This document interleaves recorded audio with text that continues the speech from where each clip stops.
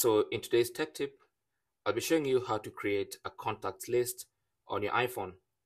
So obviously when you go to contacts on your iPhone, you have the normal list of contacts, which shows all the contacts on your iPhone. But if you want to create a specific list, maybe for your coworkers or family members or a certain group of people you want, you can actually create a specific list of contacts for people. So what you want to do is tap on lists and as you can see, the default list is all iCloud, which basically lists all the uh, all the contacts on your iPhone. So to create a new list, simply tap on Add List, and that brings up a new list. Give your list a name. So I'll give mine uh, a name.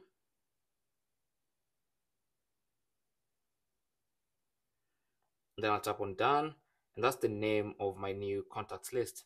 So to add contacts to this list, simply tap on the list name to open. You can see the list name at the top here, and then tap on add contacts. And then you can go to your main list of contacts and select the people you want to add to this list. So go ahead and select everybody you want to select. And then once you're done, simply tap on done. And those are the new contacts in your list. Now to switch back to the other list or to the main list, simply go to lists and you can now switch between the main list and the list you just created. Obviously, you can go ahead and create another list and you can have as many contact lists as you want.